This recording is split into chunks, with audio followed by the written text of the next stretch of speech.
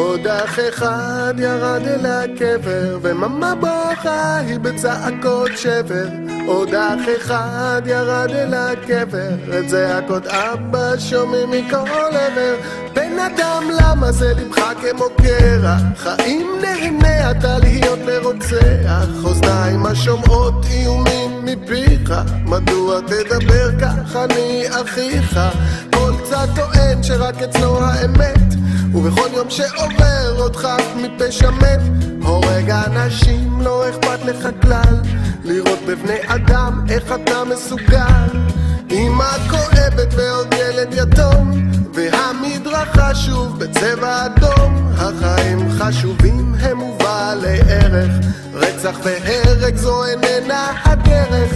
עוד אח אחד ירד אל הקבר היא בצעקות שבר עוד אח אחד ירד אל הקבר. את זעקות אבא שומעים מכל עבר. ילד מה קורה לך? איך השתגעת? באיזה מצב אחי? תראה הגעת. לא מעניין אותך הכל כבר מותר. בעיניים שלך מבט אפל וקר. תחשוב על העתיד ועל יום המחר. לנסות ולשנות אף פעם לא מאוחר. כל עם ישראל די לכל האלימות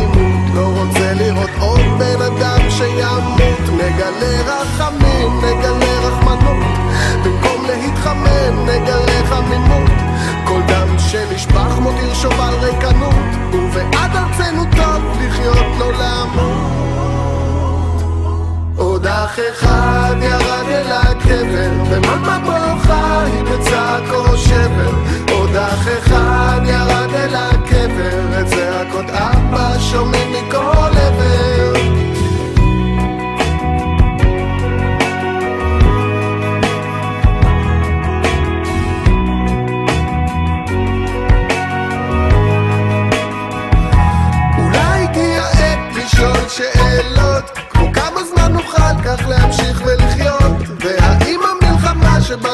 מנותקת מהאלימות שאת חיינו משתקת. נראה שהמתח פה אף פעם לא נגמר.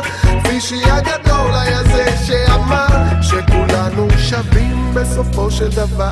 אז מדוע זה את זה נשיב אל העפר